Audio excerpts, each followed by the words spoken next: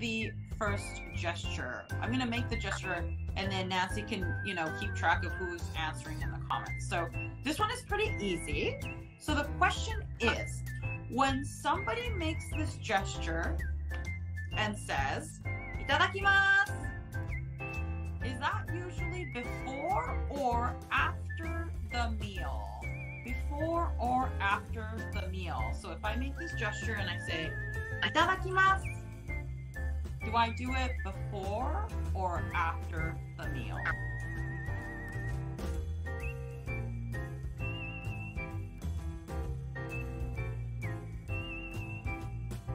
Okay, on the next gesture. So let's say I love doing um, you know scenarios. So let's say Nancy and I are at a concert.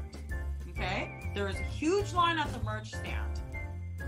Nancy offers to go find our seats while I go into the merch line to see if I can get the most popular item of the night. So I say, okay, thanks, Nancy. I'll see you later. I'm going to be in line. Go get our seats.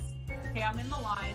As I get to the front of the line and I'm finally there, Nancy calls out from the balcony. She says, Did they have any of that item at merch stand? So we're kind of far away. You know, I can barely hear her, but she's asking me the question. So I need to signal to her by using a gesture. Okay, and I look at Nancy and I go,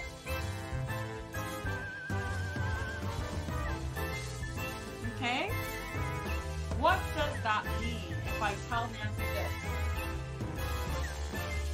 And is there the item? Yes or no?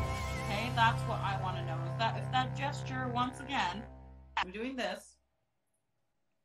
Is it yes or no? Okay, Nancy really wants to know if that merch item is there.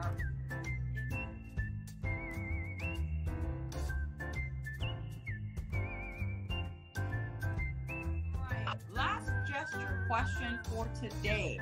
This one may be a little hard. Okay, are we ready?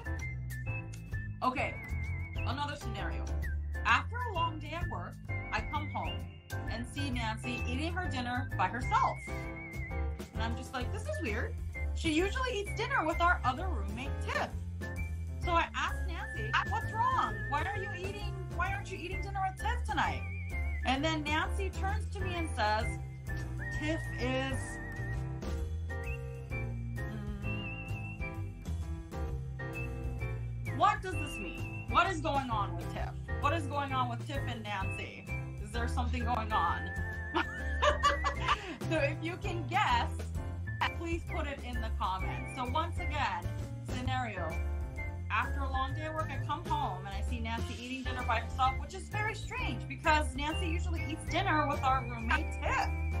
So I go up to Nancy and I say, What's wrong? Why aren't you eating dinner with Tiff? What's wrong? Nancy says to me, Tiff is